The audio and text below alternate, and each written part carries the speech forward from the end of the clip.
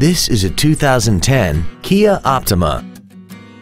This four-door sedan has an automatic transmission and an inline four-cylinder engine. Features include traction control and stability control systems, heated side view mirrors, a rear window defroster, variable valve timing, tinted glass, an anti-lock braking system, side curtain airbags, and this vehicle has less than 55,000 miles. Not to mention that this Kia qualifies for the Carfax buyback guarantee. We invite you to contact us today to learn more about this vehicle.